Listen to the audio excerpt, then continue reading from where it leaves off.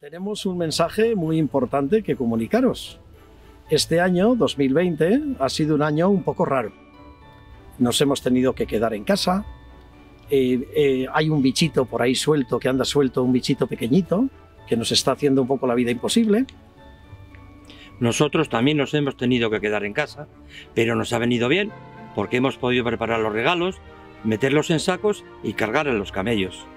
Pronto estaremos en Vitoria.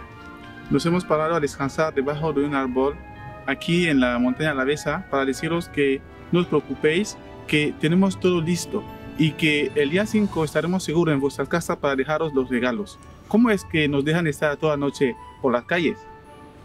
Claro, es que somos los Reyes Magos. Besarkada handi bat eta laizter arte.